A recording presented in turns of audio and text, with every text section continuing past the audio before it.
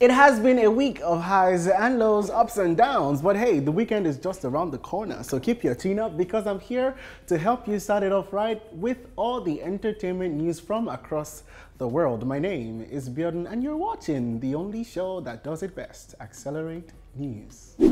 Bill Cosby emerged from hiding this week. The actor hasn't spoken publicly in two years since all allegations about him being a rampant sexual offender were at their peak. But he recently gave an interview to discuss his pending case. Now, as expected, Cosby didn't give away much and refused to admit if allegations were true or not. He did manage to claim that he thought racism might be a factor in his case, despite his accusers being both black and white. He also took the time to thank his few remaining fans for believing in him as to whether he is guilty or not, only time will tell.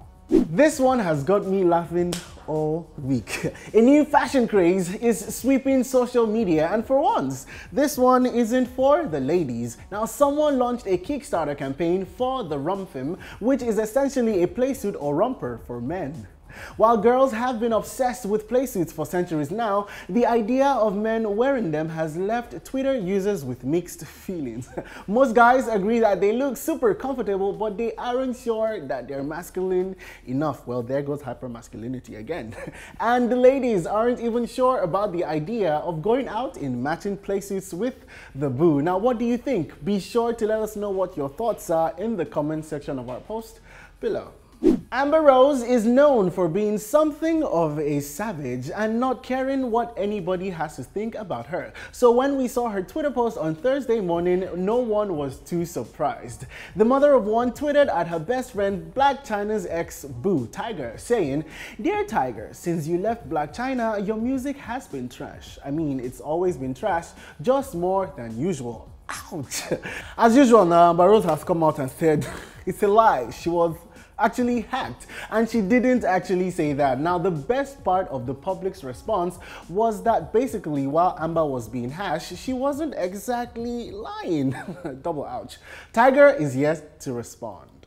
In music this week, Wizkid swept up a number of nominations for the 2017 Billboard Music Awards happening this weekend. Drake's song, which he featured on with Kyla One Dance, is nominated for seven awards, including Top Selling Song, Top Radio Song, and Top R&B Song.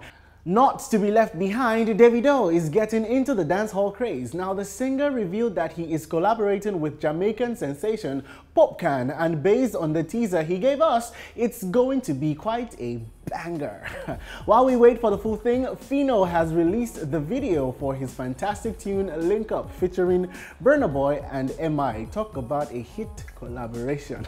Considering the amount of talent packed into that song, you just know the video is going to be killer. Check out all these songs and more on our website. In more music news, the 2017 BET Awards is set to take place on Sunday, June 25th at the Microsoft Theater in Los Angeles. The nominees for the Best International Act 2017 includes Wizkid Tekno, Davido, Mr. Eazi aka Stonebwoy, Nasty C, and Babes Wodumo. Let's know who you are rooting for in the comment section of our post below. Now, if you ask me, I just want the trophy to land in Nigeria. And that's it for today on Accelerate News. Be sure to head on over to our website at acceleratetv.com for more news on entertainment, fashion, music, and so much more. Now, Accelerate is bringing the heat with a brand new show, so you might just want to stay tuned next week for something really awesome. And make sure you catch up with the latest episode of Kemi Adetiba's King, Women, and so much more. I'd see you on Monday, everybody. High five.